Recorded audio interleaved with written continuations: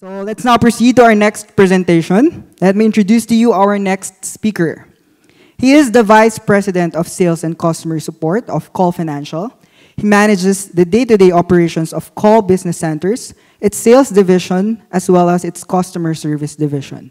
He also spearheads the COL Investor Seminar Series, the flagship investor education program of COL Financial. In 2018, he was awarded the Best Technical Analyst by the Fund, Manager, Fund Managers Association of the Philippines, making it his fifth year to receive this award. Ladies and gentlemen, let's all welcome COL's Chief Technical Analyst, Mr. Juanis Barredo. Thanks, Brian.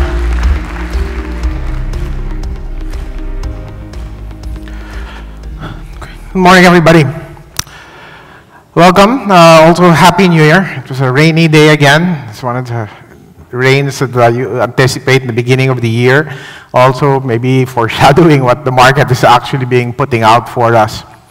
Uh, today, this, this type of outlook, I mean, I, I, would rather be looking at the market obviously in a more buoyant situation, and uh, a lot of people have been quite unhappy with what certain stocks have actually shown. Now, remember, the stock market movements that we've seen will go up and down, sometimes very strongly on the upside, very strongly into the downside. And we're going to have to build that into what we've come to expect in this type of investment. Remember the situation for companies, I think April pointed out there could be some regulatory risk, there could be natural disasters that can happen, and that all creates volatility. Now, if you were a trader, uh, as compared to being an investor, of course, traders love an opportunity for the market to be very volatile because every time it moves up or down in a very big way, it presents a short term opportunity to capitalize on. For the investor, of course, a very big decision has to be made. Do you strap on your seatbelt even more tightly? And believing that the fundamentals that were discussed earlier can be quite robust for you, and that this crisis moment, it may not appear so economically, but because of certain situations that are being presented, might push you to be wondering, am I doing the right thing? I'm taking quite a bit of some losses in, in one side of my portfolio. Or have I structurally put myself in the right position here? Should I realign my basket in what it is that I'm investing in? Now, when you come around to do that, remember, you, you take or you have to wear two hats sometimes. Are you a trader or are you an investor? If, of course, you say, I'm an investor, then moments like this will pass for you, right? Because these moments where, where crises come will present such opportunities for you that you might spend such a long time waiting for.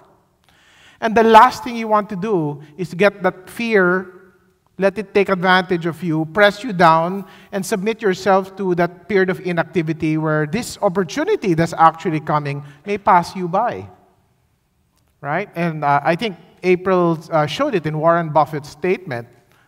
If the market right now is a very fearful state, what should I be gearing to do? Should I be running away? Or should I be looking to get greedy? Now, I know it's hard to sympathize with that because easy to say, hard to do. When that market's falling down, you're going to feel, you know, the, the, air in your lungs just escape. You cannot breathe. It feels so tense. And he said, ah, hindi, ko, hindi ko talaga mapindot itong enter button na ito. Eh. And that's one of the hardest things to learn in the world of investing. You know, if you don't know how to take risk, you don't know how to make big money. And the stock market will teach you this lesson every day of your life. If you are a trader, your, your realm should be more structured. It is already determined what you're going to do. You know what the rules are.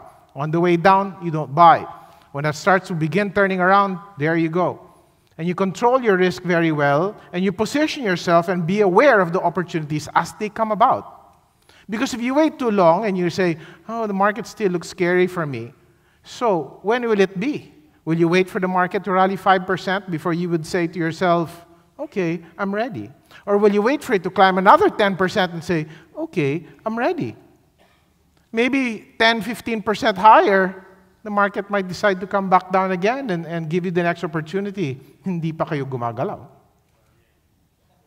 Right? I know it's difficult. But nobody ever said this game was easy. But it's there for those who are aware of it, if they understand how to capitalize on those opportunities And this crisis of sentiment, uh, let's put it that way, is another opportunity waiting to be capitalized on. Now, when we did this last time, we came out to be able to generate some forecast, and I just put some of my thoughts there initially in the last market outlook. And he said the PSE may again need to nest into another interim correction. It did that. And we expected the zigzag to take place, and unfortunately, it fell lower than what we felt support should be. It went to about 750 to 7,500. And anything more, as I said, anything more than would imply a potential short-medium trend change. So that's what we're dealing with right now. The potential trend change has taken place. And at that time, you're saying if the market were to rally, it could potentially hit 8,600. It did not. It missed that because the high we hit was 8,216. After that, the market did that. And that showed us the market was doing something very much weaker than what we wanted. It's very clear, year to date, from the beginning of January up to today, the red mark you see there is the performance of the Philippines as against a basket of other uh, indices worldwide. It's very clear the Philippines is lagging. And I think April did, uh, clear, did clarify what those conditions were that presented such an opportunity.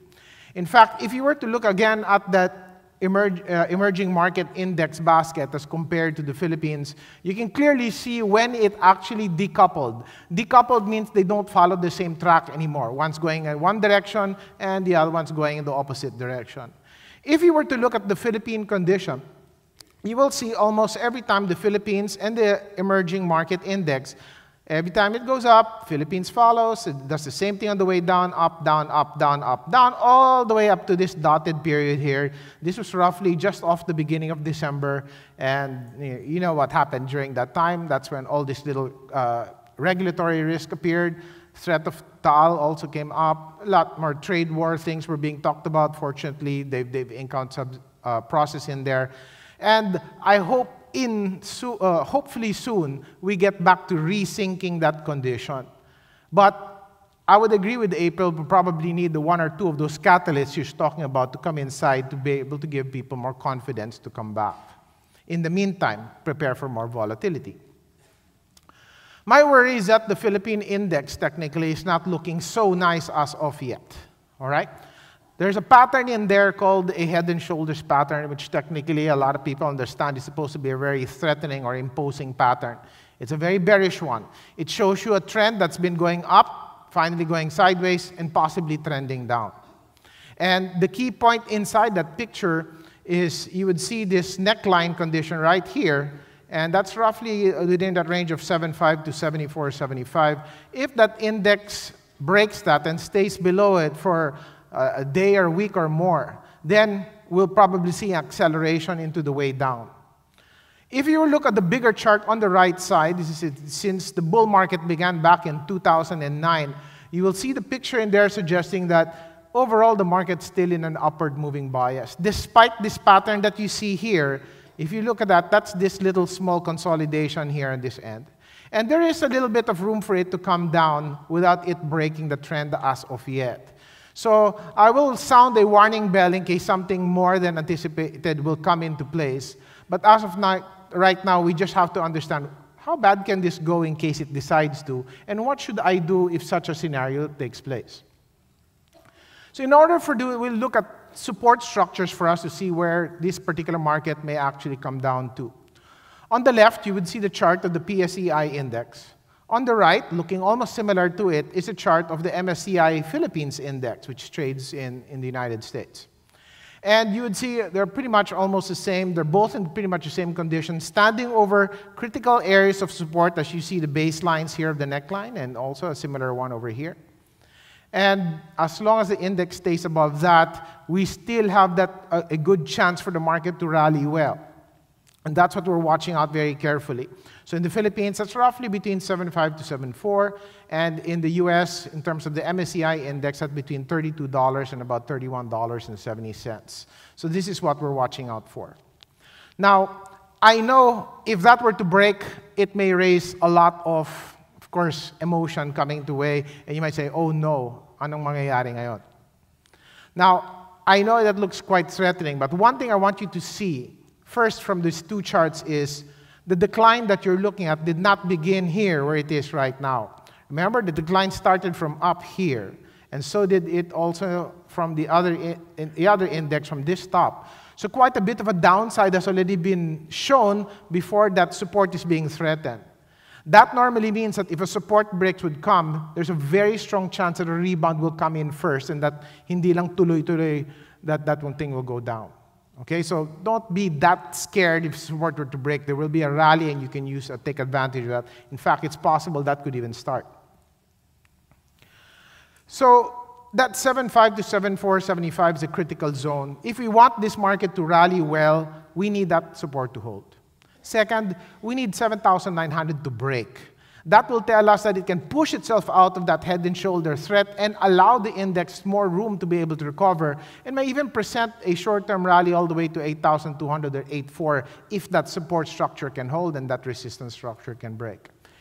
If not, then we are going to have to be able to make adjustments to be able to prepare for a, a, a not so rosy picture into the extremely short term, where it's possible the index can back off closer to that, maybe 7473 or that 7280 as I put it there. And maybe if things go on a bear case scenario, 6,800 range. And so that's what we're going to have to be able to prepare ourselves for this time around. How bearish is the market anyway? So I put some of these facts together just to give you a sense of that. 44, 44 of all the stocks taken from a listed 257 active issues today, 44 of those stocks are currently trading below all their moving averages. 160 of those, uh, sorry, uh, 44 are trading above their moving averages, and 106 of them are all trading below. And that suggests that many of those 160 plus issues are downtrending already. Again, they're not beginning to go down, they have been going down. That's the only way they'd be standing below those moving averages. The, ones in, the number in parentheses is the index stocks. So only four index stocks are trading above their moving averages. I'm talking about their 50, 100, and 200 day. And there are 21 of them, remember, there's only 30 index stocks, 21 of them are all below their moving averages. If you want to know which are those four strong ones, well, the four issues are ICTS, Robinsons, Robinsons Retail, and Universal Robina Corporation. So technically, they're the four strongest stocks in the index lineup. Second factoid. Now, only six stocks of the entire Philippine universe is close to making a 52-week high. 52 weeks is one year. And 27 of them are actually making or close to making 52 week lows. Again, showing you that the ratios are not really very uh, good on the bullish side. Third stat 19 issues are on the overbought side, and 25 of them are on the oversold side. Although that may not just be a lot, I mean, it's very rare that you get so many going into an oversold condition at the same time. Ratio wise, downtrends versus uptrends in the entire market, you've got four issues for every one climbing, four issues going down, one trending, trending up. Index stock decliners were advances, five is to one, right? So that tells you how lopsided declines have been. 52-week lows versus 52-week highs, four is to one. And of course, issues trading out near the oversold levels is about 10% of the overall market is there already. So how do we put all these stats uh, together and how do we take advantage of this? So the first question you look at when you look at all those bear, uh, seemingly bearish conditions, you might ask, with all those signals, are we in a bear market? In technical analysis, we actually have a very definite definition on that to tell you whether we are in a bearish mode or not.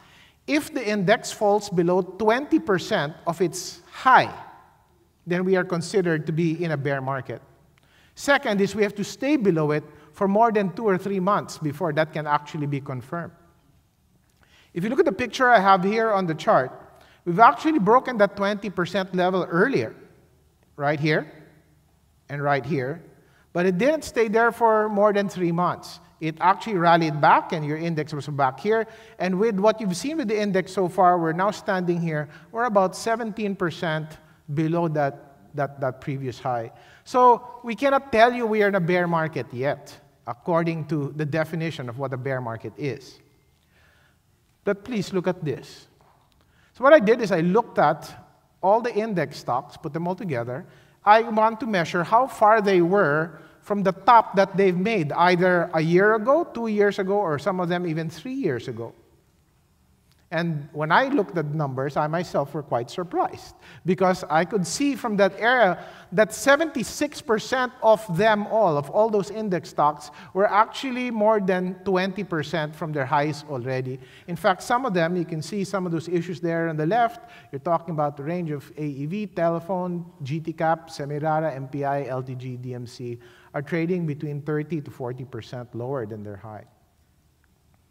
Now, you might say, My God, what's going on?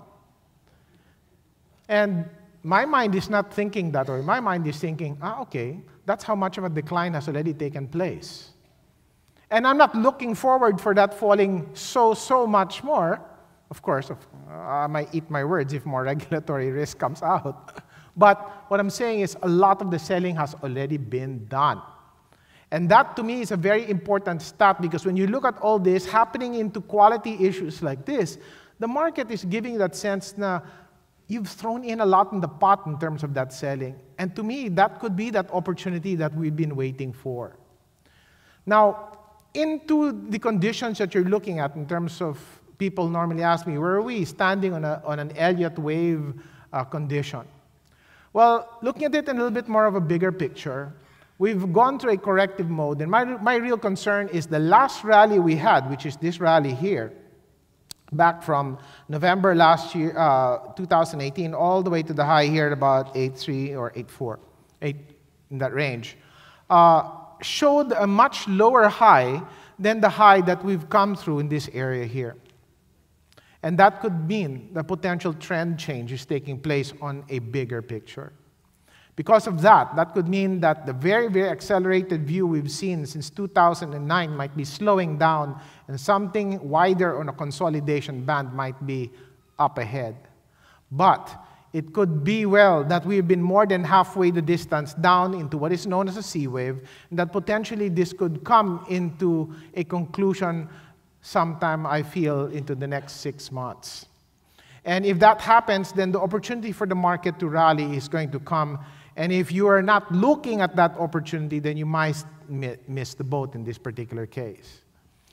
That doesn't mean that I want you to go out there and be aggressive and buy and buy and buy. You still have to do this because I feel in the short term you're still going to get some choppiness, volatility, things can still happen.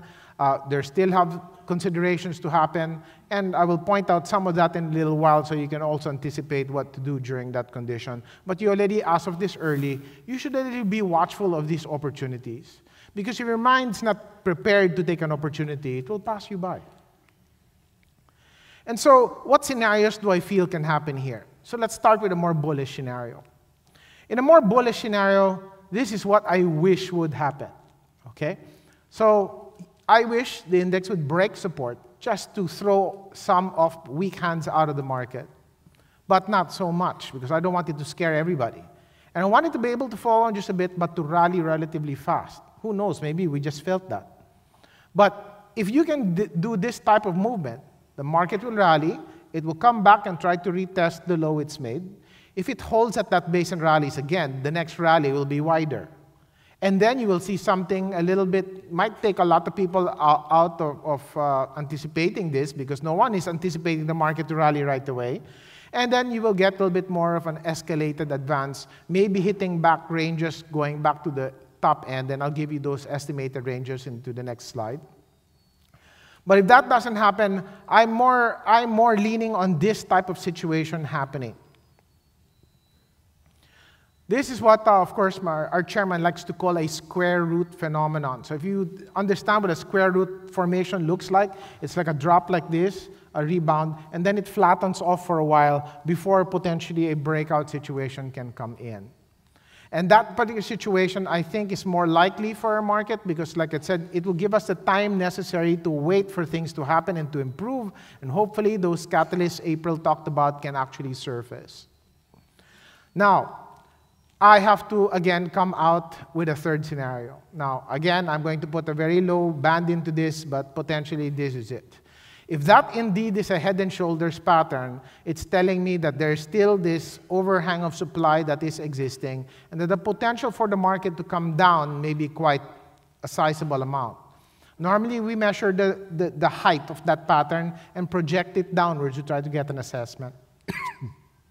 so if you see what we have here, the index, if a worst case scenario would come, would drop, rally, drop again, make a lower low, lower high, and eventually find itself trying to create a base closer to the previous low we have here, which is closer to the 6869 level. And then you will see a strong rally that will come. That will be your clue. When that strong rally comes, I hope that you guys are all ready, that that is the first trigger for the market to make a base. Because it shows the first act of willingness and confidence in the market to come back inside. But that may not be the first buying opportunity. After that, the market will come back down. It will retest that low and hopefully make a higher low. And after that higher low is made, that is the buying opportunity that many of you guys can be more aggressive on. If you want to buy the first rally, you can put in or inject a small position first. Because remember, you're still buying a stock that's in a downtrend and has not confirmed its turnaround. And that volatility will come in in due time. Now, once that thing is over, of course, then you can be more aggressive. I think the market would have expressed the fullness of its selling, and the market will be more right to be able to climb.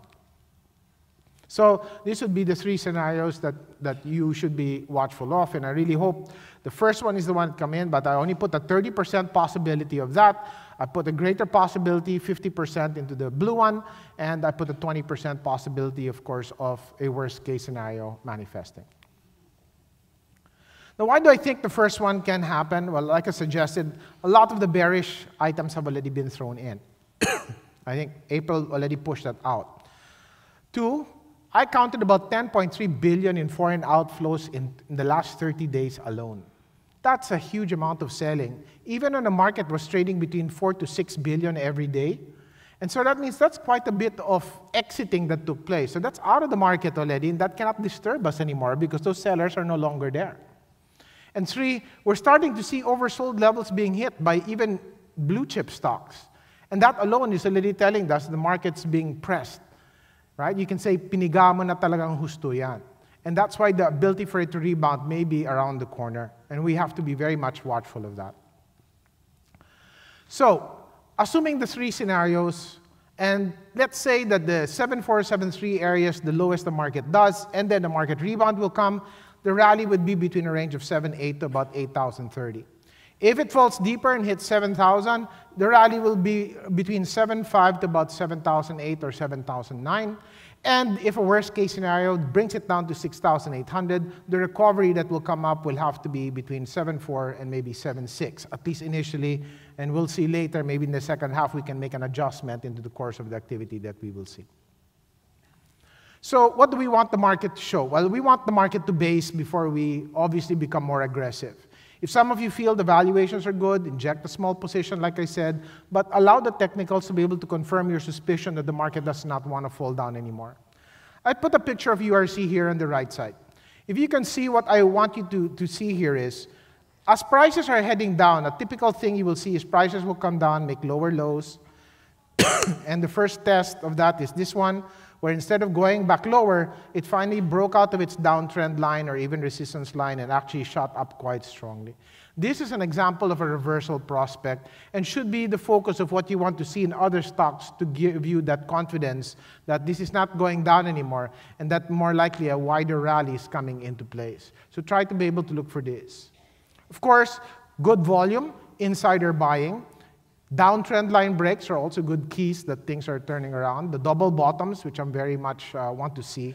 And if you want, on a technical basis, either 50 or 100 day moving averages are breaking on the way up. And that should all contribute to the signs that the, the basing sign for your stock is very much in play. Now, just on the externals, I just want to be able to talk a little bit about the other markets and see what influence we will see from there. My position is that US is stretched and that it may be due for a correction. Bonds are telling me that that's most likely going to happen. The dollar is still in a downtrend, but it's rallying near the high range. I will show that to you in a while. Gold has also been on, a, on fire and, and telling you something is going on other than usual. Sorry, and the peso dollar uh, it has made a pit stop from its firming situation, and there might be, as they say, because of the deficit, there might be a bit of a rally that might come into the peso dollar. So let's quickly look at it. So why am I concerned of the S&P? Very strong market, very bullish situation, but prices have been on an upward tear. And given that type of condition, it remains overbought and there might be the ability for it to correct. I don't think it's going to finish the uptrend, it just needs to correct. When the US normally corrects, it takes other markets down along with it, and that's why I'm concerned. The US bond market is telling me that that potential correction may come because I can already see a breakout taking place in the US 10 year bond, telling me that people are shifting from the riskier asset, being equities, and buying the safety net of bonds. And since I can see the breakout condition here, I can see that movement, and that's why there's a potential for the US to correct even sooner. In terms of the dollar, the dollar is in a downtrend, as you see there, but it's now trading near the higher on the range. So I would anticipate that the dollar might feel some pressure pretty soon. So if you're looking to buy the dollars, uh, maybe uh, as they were talking about earlier, the Philippines might be a good idea, but so far there might be some, uh, you know, some counter flows that might, if the dollar in the U.S. manages to be able to continue its down move. Gold prices have been very strong. It broke out uh, late uh, last year, and the ability for it to be able to continue, I think, is still in place. So it was just overbought. It may need to wind up a little bit more, but in the last few days, I saw gold attempt to be able to rally. Gold, I think, is rallying because either it's thinking the, gold, uh, that the dollar might get softer or that a potential threat from inflation might be around. And we'll let the fundamentalists uh, handle the, the reasons for it. But right now, the gold play is still very much intact. But I think after a bit of a rally, you'll still see a consolidation here. Now, the threats from oil, I think, have been put down.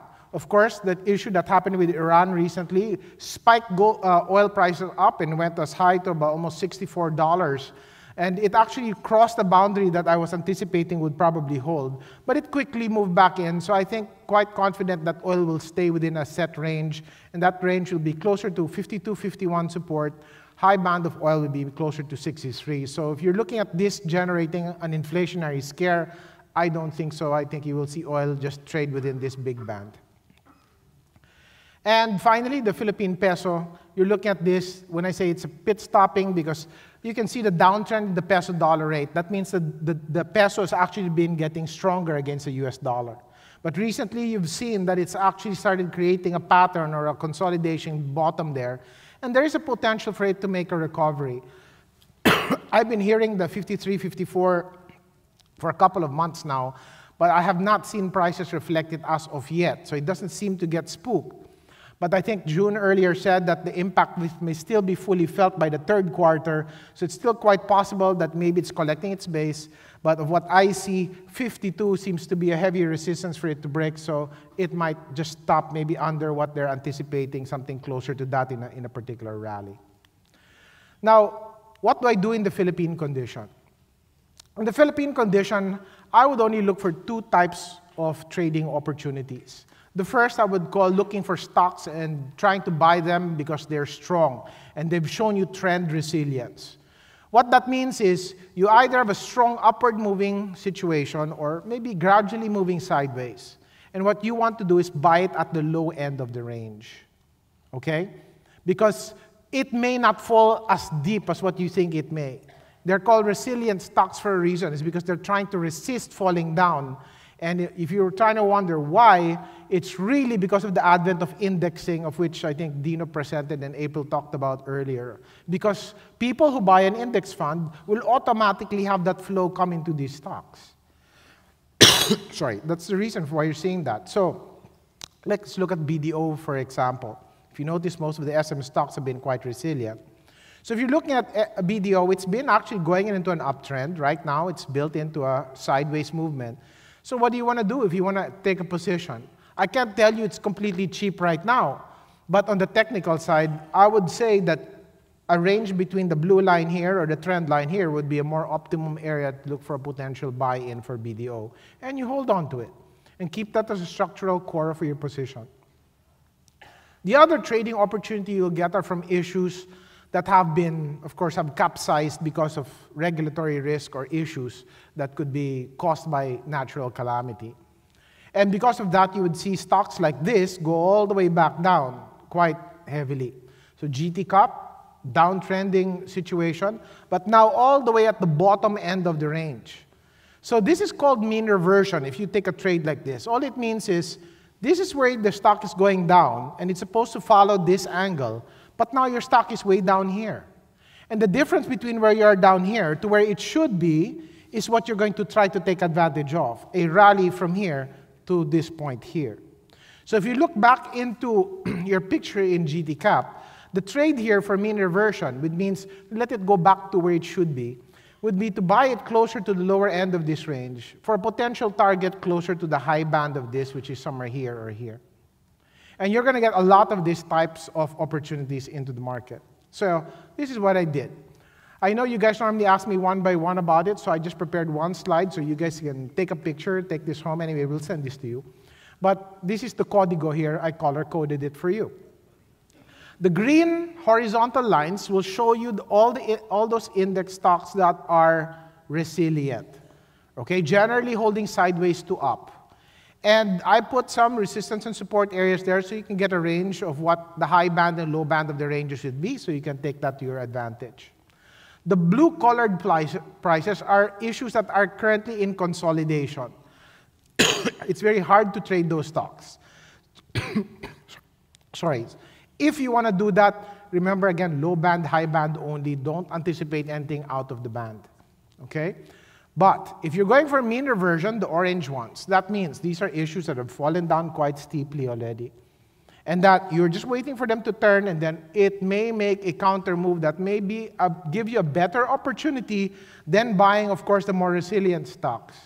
What's what is in return for that? Yes, you might have more upside, but it will generate more choppiness along the way.